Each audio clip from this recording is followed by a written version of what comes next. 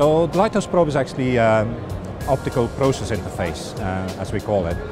Uh, back in 2004 approximately when the FDA came out with the PAT initiative, uh, we started to do lots of measurement with different vendors on our systems and the only, the one thing that kept on coming back and like hindering us in doing good measurements was uh, window fouling.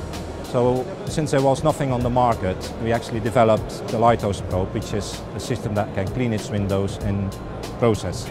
Um, understand we have a system like that, which is particular in that way that it uses uh, a gauge which is easy to calibrate, so you don't need to have spectroscopic background to use it.